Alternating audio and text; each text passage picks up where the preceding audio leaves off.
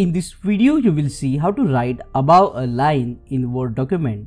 As you can see I have write above a line and it's very easy. To type above a line first go to the insert tab and under the insert tab you will see here the option of text box.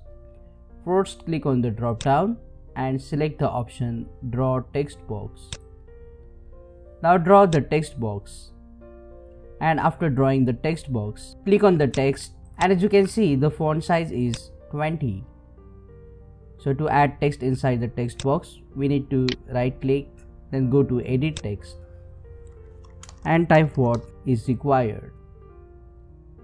Adjust the size of the box. Double click inside the box to select everything and make the font size for example 20 and if it's out of the box just expand the box. And now the problem is that this box is not a transparent box so to make this box transparent and remove the outer lines of the box, you need to click on the box, right click and go to the format shape.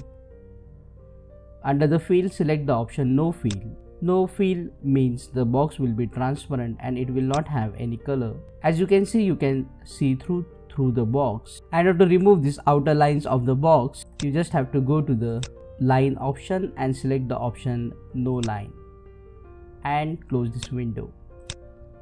Now if you have multiple lines to fill, you can just copy paste this transparent text box without border and type inside the transparent box and place it anywhere you want. In this way you can type above a line in Word. Click on that like button, comment below and let me know if this video solved your problem. And don't forget to check out these useful videos related to Microsoft Word.